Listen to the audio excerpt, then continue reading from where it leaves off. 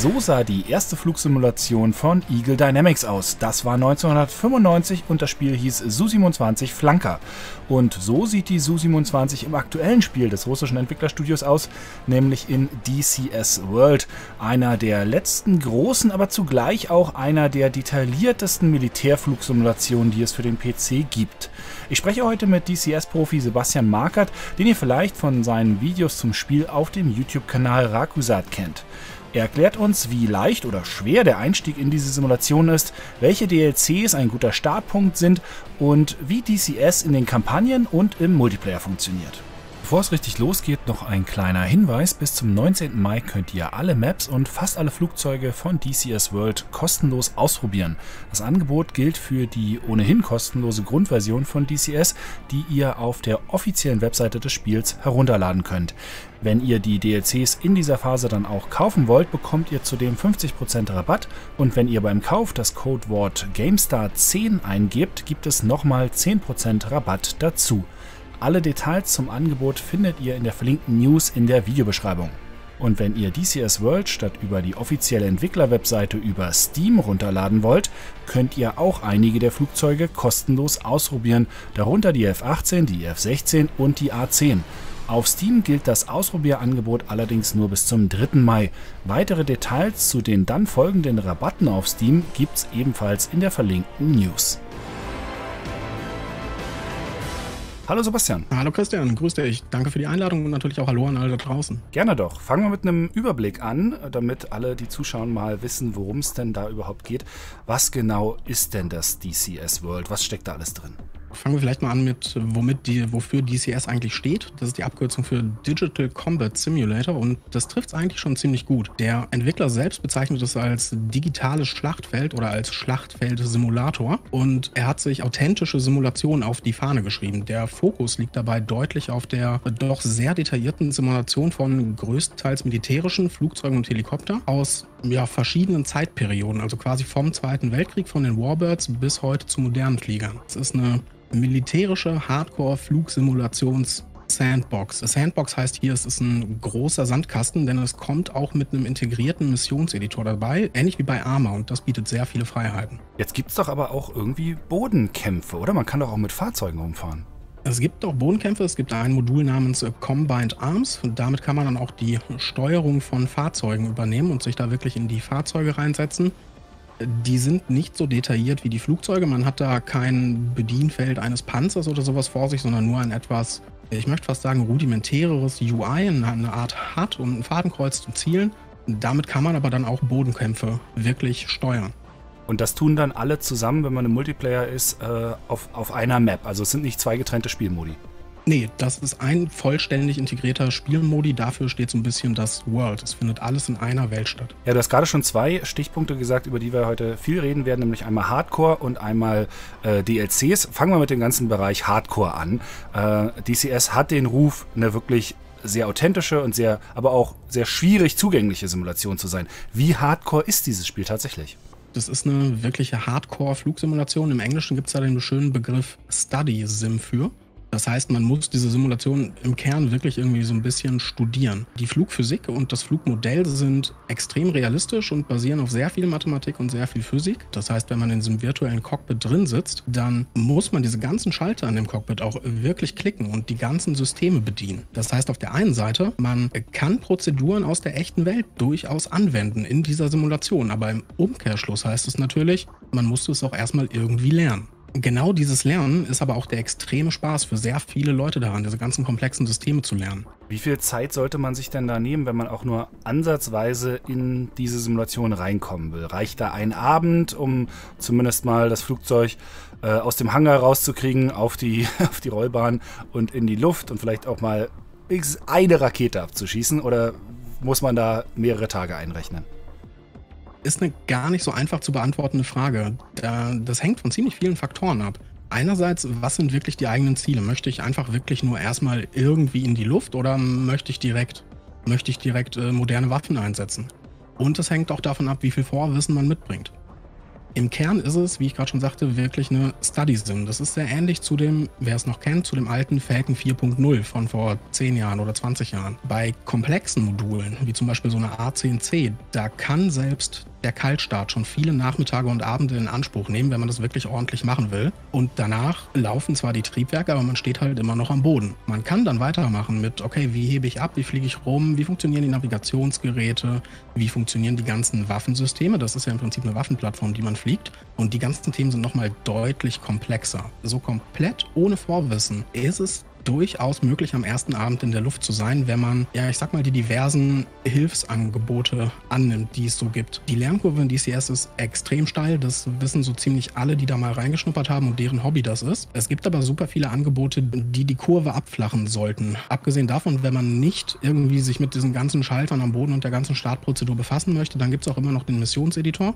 Da kann man sich halt einfach in die Luft setzen und startet direkt in der Luft und kann direkt rumfliegen. Das geht durchaus. Wenn man so ein kleines bisschen Vorwissen mitbringt, dann ist auch ein rudimentärer Waffeneinsatz am ersten Abend nicht wirklich unrealistisch. Der beschränkendste Faktor bei all dem ist wirklich die Zeit. Also wenn das Interesse vorhanden ist, das Interesse an der Luftfahrt und das Interesse, sich in komplexe Systeme einzuarbeiten, dann vergeht die Zeit wie im Flug. Und ich packe jetzt mal 5 Euro in die schlechte Wortspielkasse.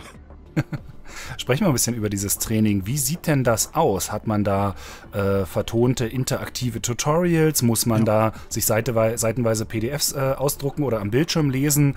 Wie unterstützt das Spiel den Spieler konkret? Naja, sowohl als auch. Also es gibt äh, voll vertonte Trainingsmissionen, wie du gerade schon gesagt hast, die sind äh, sehr geführt mit äh, vielen Hilfselementen dabei. Also wenn es darum geht, irgendwelche Manöver zu fliegen, dann hat man meist so grüne schwebende Tore in der Luft, die einem das wirklich schön visualisieren. Oder wenn es ähm, gerade mal um die Kaltstartprozedur geht, dann hat man im Cockpit so kleine Hervorhebungen, die auf die Schalter zeigen, die man gerade drücken soll, sodass man eben nicht im Handbuch fünf Seiten vor und wieder fünf Seiten zurück und Schalter suchen. Also da wird man schon äh, sehr gut dran geführt. Aber die Trainingsmissionen ersetzen halt auch nicht das Study in StudySim. Deshalb braucht man nach wie vor immer noch ein Handbuch und das kann wirklich groß werden. Wer damals Falcon 4 hatte, weiß, wie dick dieser Klöpper von Handbuch war. Das gibt es hier in ähnlicher Form, nur nicht mehr in gebundener Papierform, sondern in PDF und das kann auch mal mehr als 600 Seiten groß werden, gerade bei komplexeren Modulen wie so einer A10C oder auch so einer F18C Hornet. Dahingegen die nicht so ganz komplexen Module, da ist natürlich auch das Handbuch schlanker. Ist aber ein sehr gutes Nachschlagewerk. Davon abgesehen, ich interpretiere da so ein bisschen rein, das war so ein bisschen die Frage nach Einsteigehilfen, gibt es mm, ja ein paar. Also um es direkt ganz klar zu sagen, man kriegt DCS nicht auf so ein auf das Niveau eines äh, Arcade-Shooters wie ein Ace Combat oder ein Hawks oder sowas. Das geht einfach nicht. Das möchte DCS aber auch nicht sein. Stichwort Authentizität. Es gibt teilweise Gameplay vereinfachende Funktionen, so kleine Checkboxen, die man aktivieren kann, wie unbegrenzter Treibstoff oder unbegrenzte Munition. Daneben gibt es für, ich meine, für jedes Luftfahrzeug eine Autostartfunktion. Das heißt, man muss sich schon mal nicht mehr mit dieser Startprozedur am Boden beschäftigen. Die kann anfangs nämlich sehr einschüchternd wirken und für viele ist die Startprozedur auch ziemlich langweilig, weil dann sitzt man da halt wirklich acht bis zehn Minuten rum, während irgendwelche Systeme im Flugzeug booten oder sich mal so ein Navigationssystem ausrichtet. Deshalb gibt es da eine Einklicklösung, da muss ich nur eine Taste drücken und der Rest passiert vollautomatisch. Und was ich ganz gerne immer noch so als ja, Einsteigerhilfe in Anführungsstrichen sehe, ist das gesamte Flaming Cliffs 3 Paket oder FC3, wie es ganz gerne mal abgekürzt wird. Flaming Cliffs ist der Nachfolger von Log On, falls noch jemand äh, des älteren Semesters das Spiel kennt. Das kam so Anfang der 2000er, war auch schon von Eagle Dynamics entwickelt und ich glaube damals von Ubisoft rausgegeben. Das ist ein Paket aus mehreren Luftfahrzeugen, ich glaube vier oder fünf. Und unter anderem das äh, kostenlose russische Bodenkampfflugzeug, die Su-25T, die in der Basisversion einfach dabei ist, das ist da quasi auch Bestandteil von. Denn es ist auf demselben Level simuliert. Die Flieger da drin sind zwar immer noch realistisch, was Flugmodell und Flugphysik angeht, aber sie haben eine deutlich reduzierte Systemkomplexität. In den Fliegern kann ich keinen Schalter im Cockpit drücken, muss ich aber auch gar nicht, denn hier laufen komplexe Aktionen per Tastaturkommando. Also hier kann ich die ganze Maschine so oder so mit zwei, vielleicht auch drei Tastaturkommandos anschalten und ich gehe mit äh, einem Tastaturkommando in den Bodenkampfmodus oder sowas. Das kann sich extrem lohnen, wenn einem ein voll klickbares Modul, also ein Modul, wo ich da wirklich die Schalter im Cockpit klicken muss, wenn das erstmal viel zu einschüchternd wirkt. Zu dem Flaming Cliffs 3 gibt es auch schon einen angekündigten Nachfolger namens äh, Modern Air Combat oder kurz MAC oder MAC. Der irgendwann demnächst erscheinen wird und das Sortiment der Flugzeuge nochmal erweitert, aber das Niveau beibehält. Also da muss man dann auch keine Schalter mehr klicken.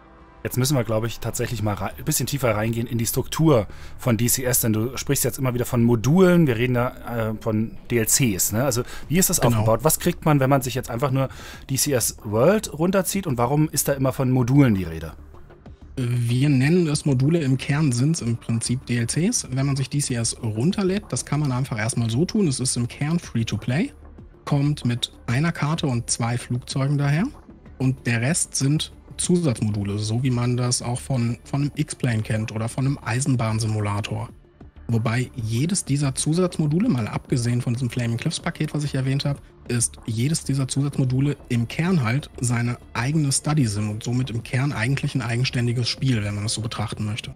Jetzt haben wir Flaming Cliffs 3 als verhältnismäßig Einsteiger, sage ich jetzt mal vereinfacht, Einsteiger-DLC-Modul. Was wären noch DLCs, wo du sagen würdest, das ist ein guter Startpunkt, wenn man ganz neu in dem Spiel ist? Ich möchte eigentlich davon absehen, irgendein bestimmtes Modul zu empfehlen, denn das mit Abstand beste Modul für Einsteiger ist das, was einen interessiert. Es geht bei, dem, bei, bei DCS und den ganzen Study Sims geht wirklich darum, diese, diese komplexen Systeme zu lernen. Und das funktioniert am besten mit einem ordentlichen Interesse dahinter. Die Lernkurve ist am Anfang so oder so richtig, richtig steil. Das heißt, im Kern ist sowieso jedes Modul irgendwie gleich gut geeignet, wenn denn die Lust zu lernen da ist. Da aber natürlich auch die Authentizität im Vordergrund steht, darf man natürlich jetzt nicht einfach äh, wahlfrei sagen, okay, das Flugzeug, das sieht gut aus, das nehme ich.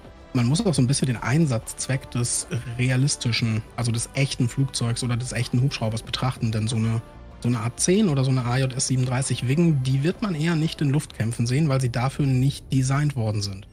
Das muss man also durchaus dazu betrachten. Was man natürlich beim Einstieg nicht außer Acht lassen darf, ist, dass da auch eine gesamte Community dahinter steht und die ist wirklich leidenschaftlich und äußerst hilfsbereit. Wir freuen uns über jeden neuen Mitspieler und freuen uns natürlich auch, wenn sich dann noch jemand für unser Hobby interessiert. Und wir erklären super gerne und helfen da wirklich auf die Sprünge. Es gibt super viele Leute, die Tutorial-Videos erstellen, sowohl in Deutsch als auch in Englisch oder wahrscheinlich auch noch anderen Sprachen eurer Wahl.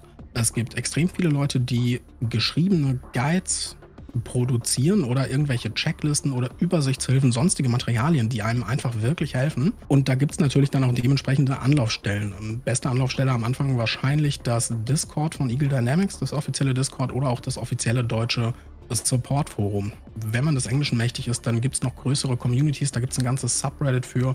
Und es gibt natürlich auch viele kleinere Foren oder Discords von diversesten Gruppierungen, wo man sich wirklich einfach anmelden kann und einfach mal nachfragen kann. Wir sind da alle äußerst freundlich und extrem hilfsbereit. Was äh, sollte man denn an Hardware mitbringen? Ich sehe schon, du hast an deinem äh, Headset schon, äh, wer das vielleicht kennt, so eine Track-IR-Geschichte. Das ist, um die Kopfbewegungen äh, von dir zu scannen, ne? damit du dich frei im Flugzeug ja, genau. umschauen kannst, oder? Äh, Habe ich, glaube ich, auch irgendwann mal bei Arma mal ausprobiert, aber es ist lange her. Äh, was was brauche ich alles? Brauche ich ein, reicht mir Maus und Tastatur? Reicht mir ein Gamepad? Brauche ich ein komplettes Cockpit im Keller eingebaut? Wie sind die Hardware-Anforderungen? Ein Joystick und ein Schubhebel sind hilfreich, aber absolut nicht zwingend notwendig. Rein technisch funktioniert es auch mit Tastatur und Maus. Also keine Sorge, man muss jetzt nicht einen Raum im Keller freiräumen und sich da ein Cockpit nachbauen, aber man kann es. Zeit und Geld vorausgesetzt natürlich.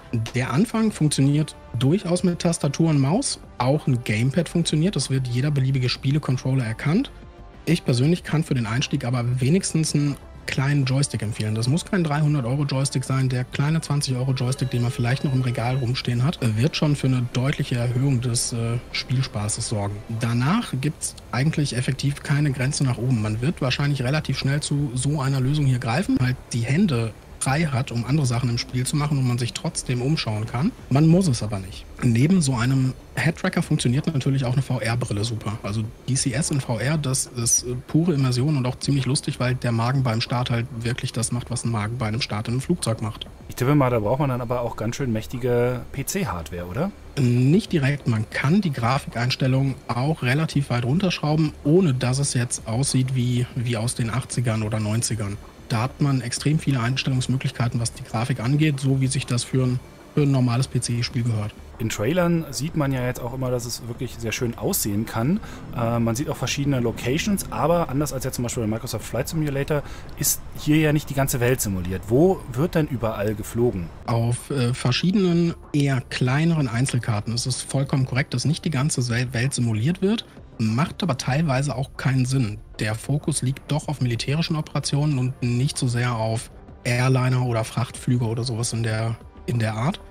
Die Standardkarte, die in der kostenlosen Version mit dabei ist, ist die Kaukasus-Karte. Da fliegt man zum Großteil in Georgien mit noch einem Teil des Südwesten von Russlands dabei und natürlich dementsprechend auch das Schwarze Meer. Daneben gibt es noch äh, zusätzlich kaufbar und runterladbar die Nevada-Karte.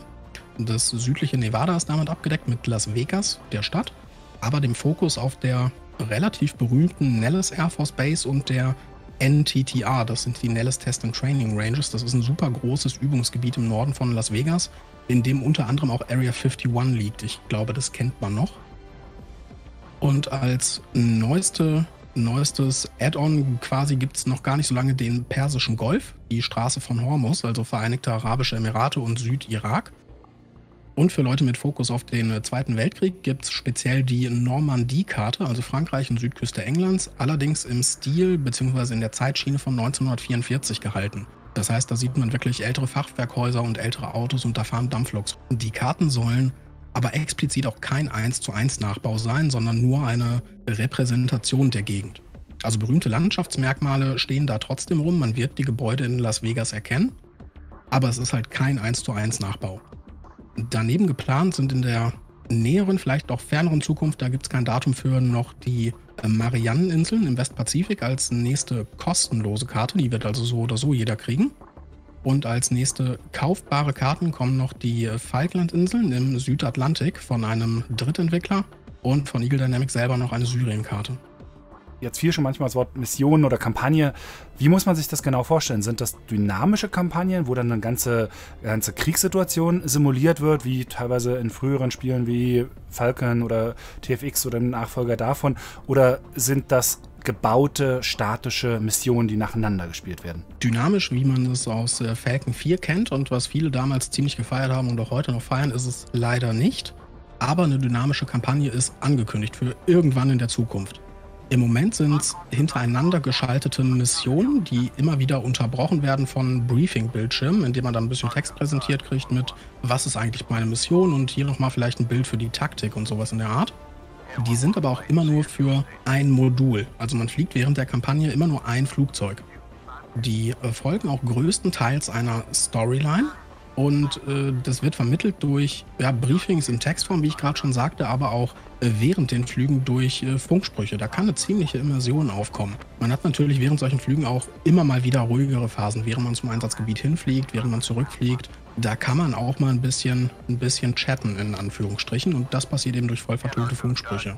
Teilweise sind die Kampagnen fiktive Stories, natürlich, das hat sich ja irgendjemand ausgedacht. Teilweise folgen sie aber auch realistischen Erlebnissen. Es gibt zum Beispiel die Red Flag-Kampagnen, die im Prinzip Nachbauten der echten Red Flag-Übungen sind. Red Flag ist eine große Übung in dem gerade angesprochenen Übungsgebiet, den äh, Nellis Test and Training Ranges. Und bei den Kampagnen haben zum Beispiel auch echte Piloten mitgewirkt, die auch wirklich bei dieser Übung in echt mal mitgeflogen sind. Also authentischer geht's eigentlich nicht mehr. Und dann noch mit den ganzen Funksprüchen im Hintergrund, das ist extrem immersiv. Es gibt äh, viele zusätzlich kaufbare Kampagnen, die man sich dann runterladen kann, aber auch äh, kostenlose von anderen äh, Spielern erstellte Kampagnen, die man sich halt einfach so runterladen kann, ohne sie zu kaufen.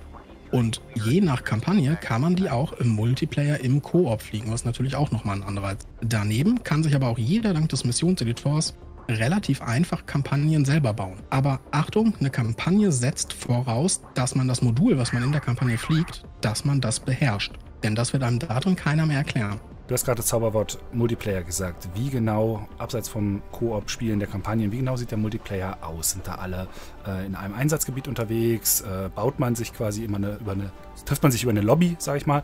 Ähm, wie muss man sich Multiplayer in DCS vorstellen? Jeder kann, der möchte, einen Server aufmachen. Es gibt eine ganz klassische Serverliste, wenn man im Menü ist. Da kann man sich einen Server auswählen oder halt selber einen auf. Und auf diesem Server der entweder öffentlich oder privat ist, selbst eine Mission hosten. Oder man geht halt auf einen der schon vorhandenen Server. Im Prinzip funktioniert Multiplayer also so, wie man möchte, weil man dank des Missionseditors dahinter sehr, sehr viele Möglichkeiten hat. In der Theorie gibt es äh, für die Server auch keine richtige Spielergrenze. In der Praxis wird aber irgendwann die Performance einen Strich durch die Rechnung machen oder auch einfach die Sinnhaftigkeit. Eine Mission mit 200 Leuten ist ernsthaft nicht mehr managebar. Das macht keinen Sinn mehr. Es ist also missionsbasiert und das heißt auch, dass die Flugzeugauswahl, die man so im Multiplayer hat, stark von der Mission auf dem jeweiligen Server abhängig ist. Es gibt öffentliche Server, die fahren richtige Missionen, also in Anführungsstrichen ernst, vielleicht auch mit einer eingeschränkteren Auswahl an Flugzeugen. Es gibt aber auch öffentliche Server, die komplette Spaßmissionen anbieten, so eine Art Free Flight, ohne irgendein festes Ziel, alle Module und macht, was ihr wollt. Und dann gibt es auch noch vereinzelt größere öffentliche Server, die so halb dynamische Missionen fahren mit äh, wechselnden Missionszielen und einer Frontlinie, die sich verschiebt. Da gibt es dann sogar Spieler, die mit Drittprogrammen außerhalb von DCS eine Art Flugsicherung machen oder Radarleitoffiziere. Kann auch wieder ungeahnte Immersion annehmen. Ich habe mal spaßeshalber nachgeguckt, an einem äh, Wochentag gegen 18 Uhr waren es um die 1000 Server und um die 2000 Spieler, wobei 600 dieser 2000 Spieler so auf die Top 30 Server verteilt waren. Der Rest waren also eher kleinere private Server. Das heißt, für so eine, für so eine nischenhafte Hardcore-Flugsimulation ist der Multiplayer eigentlich relativ belebt. Auf diesen angesprochenen privaten Servern tummeln sich dann viele kleinere Gruppen. Wir nennen das Geschwader oder Staffel. Das ist in anderen Spielern, würde man es Clan oder Gilde nennen. Und die haben wiederum die unterschiedlichsten Ansprüche. Manche springen einfach nur in Maschinen rein und wollen einfach Spaß haben. Andere wiederum wollen so vollständig wie möglich irgendwelche realen Prozeduren implementieren. Und wieder andere wollen so ein Mittelding dazwischen. Das Schöne ist, man ist insgesamt sehr, sehr frei in dem, was man machen möchte und kann sich auch ein bisschen verwirklichen in dem, woran man Spaß hat, solange man Interesse für die Luftfahrt mitbringt. Man wird da in keinerlei Schiene gedrängt. Jetzt haben wir verhältnismäßig nüchtern, passt ja auch zum Thema einer äh, anspruchsvollen, realistischen Simulation, eigentlich zusammengefasst, was ist da drin, was wird da so geboten. Jetzt müssen wir natürlich ein bisschen auch über die Qualität sprechen äh, und über das, was da, was da gut ist und was vielleicht eben auch nicht gut ist, was auf den Wunschlisten der Community steht, was sich verbessern soll. Was ist gut an DCS und was ist nicht gut an DCS, frage ich dich als aktiven Spieler. Die Community dahinter ist ganz generell extrem leidenschaftlich, wie sich das für eine Flugsimulations-Community gehört. Und das heißt auch, dass jeder so seine eigenen Baustellen und auch so seine eigene Wunschliste hat. Dennoch gibt es durchaus bei manchen Themen einen Konsens. Es sind sich zum Beispiel alle darüber einig, dass eine große Baustelle die KI ist. Die ist teilweise etwas überfordert. Oder auch das Wettersystem. Das Wettersystem ist auch eine nächste große Baustelle. Das ist im Verhältnis zu anderen Flugsimulationen relativ rudimentär. Wolken auf verschiedenen Schichten sind hier leider noch nicht möglich. Die gute Nachricht ist, das sind beides Themen, die sind angekündigt, beziehungsweise es ist angekündigt, dass daran gearbeitet wird. Oder auch äh, Fluglotsendienste, also Air Traffic Control, ATC, die Leute, die im Tower sitzen ist äh, von der KI her auch sehr rudimentär, aber auch daran wird gearbeitet. Was bei der Community ganz, ganz weit oben auf der Wunschliste steht und was endlich nach langer Zeit angekündigt wurde, ist genauso eine angesprochene dynamische Kampagne, wie wir sie jetzt äh, schon mehrmals thematisiert haben. Und davon abgesehen hat so ziemlich jeder seine eigene Wunschliste an Luftfahrzeugen, die er ganz gerne in DCS sehen würde. Hoch im Kurs steht zum Beispiel ein Tornado oder eine F4 Phantom, die man durchaus auch aus Deutschland kennt. Davon abgesehen können dann manche, bis wenn nicht sogar viele Wünsche, aber auch per Mod, also per Modifikation realisiert werden. Zum Beispiel Bodeneinheiten oder teilweise Waffentweaks oder sowas in der Art. DCS hat da einen sehr guten Mod-Support, mit dem man einiges machen kann. Jetzt äh, ist eine Sache bei dem Spiel, dass diese DLCs teilweise sehr teuer werden. Äh, zu Normalpreisen, wenn nicht gerade irgendwelche Rabatte oder so sind, sind die teilweise über 60 Euro teuer. Äh, sie kommen manche von direkt von Eagle Dynamics, viele aber auch, ähnlich wie bei anderen Flugsimulationen, von anderen Herstellern. Ähm, gibt es irgendwie einen Marker für dich, wo du sagst, äh, daran kann man die Qualität erkennen oder gibt es irgendwie bestimmte DLCs, die herausragen? Kann man zum Beispiel immer sagen, die Eagle Dynamics DLCs sind immer die besten oder gibt es auch andere, die ähm, auf das Level kommen? Nicht direkt. Also es gibt nicht direkt Marker, an denen man das äh, festmachen kann. Jedes Modul, was man kauft, das hat eine gewisse Qualität. Ich sag mal so als Baseline quasi. Also man kann davon ausgehen, dass man, äh, ich sag mal grob 95% der Schalter im Cockpit bedienen kann und dass auch die Systeme dahinter adäquat simuliert sind. Jetzt hat es in letzter Zeit Heatblur mit der F14 Tomcat geschafft, sich doch irgendwie nochmal davon abzuheben sie haben einfach eine atemberaubende immersive Qualität abgeliefert. Die 14 kennt man vielleicht noch aus äh, Top Gun, damals aus dem Film. Äh, für mich war es der Jet meiner Kindheit und in meinen Augen hat der Jet aber auch in der Simulation einen Maßstab für Flugsimulationen ganz allgemein gesetzt. Man, das hört sich total komisch an, aber irgendwie fühlt man den Jet. Das fühlt sich einfach so unglaublich an. Und man hat auch noch eine kleine KI auf dem Rücksitz sitzen. Das ist eine zweisitzige Maschine. Der hinten drin steuert Radar und Geräte und so ein Krams. Und der redet auch mit einem. Und den kann man auch Kommandos geben, weil man da mit der KI zusammenarbeiten muss. Wenn der hinter einem dann auf einmal sagt, wo er jetzt gerade die feindliche Maschine sieht, das ist schon, das ist schon wirklich gut. Aber Vorsicht, das Ding ist anspruchsvoll zu fliegen. Bei den ganzen restlichen Modulen, das heißt jetzt nicht, dass die irgendwie schlecht sind oder sowas. Ganz im Gegenteil, die sind auch äh, wirklich gut aber die F-14 hat es irgendwie geschafft, nochmal ein Level draufzusetzen. Ja, also die äh, F-14 auch mein Flugzeug der Kindheit. Also Top Gun hat wahrscheinlich jeder, der so in unserem Alter ist, noch halbwegs in Erinnerung. Wenn ihr sie ausprobieren wollt, sie gibt es als DLC für DCS World. Das Grundspiel gibt es kostenlos. Ähm, schon mit ein oder zwei Maschinen, glaube ich, drin. Eine aus dem Zweiten Weltkrieg und dieses Bodenflugzeug, was du gesagt hast, Bodenangriffsflugzeug. Ähm, das kann man, da kann man zumindest mal reinschnuppern und gucken, kommt man überhaupt halbwegs rein? Ist einem das zu viel? Ist einem das äh, ja, die Zeit wert, die man da tatsächlich reinstecken muss? Sebastian, vielen Dank für den Überblick zu diesem wirklich sehr, sehr komplexen und umfangreichen Spiel. Gerne, ich bedanke mich für die Einladung. Und euch da draußen, vielen Dank fürs Zuschauen. Schreibt gerne in die Kommentare, wenn ihr es vielleicht selber mal ausprobiert habt, wie es euch gefällt, ob ihr hardcore genug seid für DCS World. Das war's von unserer Seite. Macht's gut.